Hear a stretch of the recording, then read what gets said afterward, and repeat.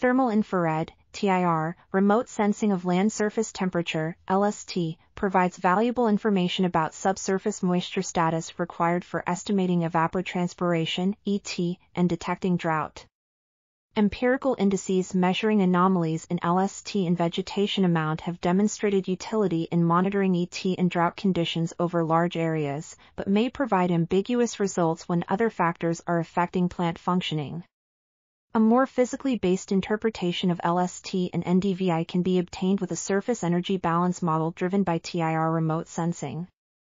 The Atmosphere Land Exchange Inverse ALEXI, model is a multi-sensor TIR approach to ET mapping, coupling a two-source land surface model with an atmospheric boundary layer model in time differencing mode to map daily fluxes at continental scales and 5 to 10 km resolution using thermal band imagery and insolation estimates from geostationary satellites.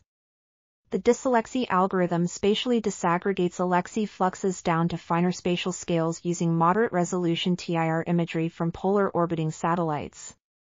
The Alexi-DisAlexi model has potential for global applications by integrating data from multiple geostationary meteorological satellite systems. Work is underway to evaluate multi-scale Alexi implementations over various continents with geostationary satellite coverage. This article was authored by M. C. Anderson, W. P. Kustas, J. M. Norman, and others. We are RTCL.TV, links in the description below.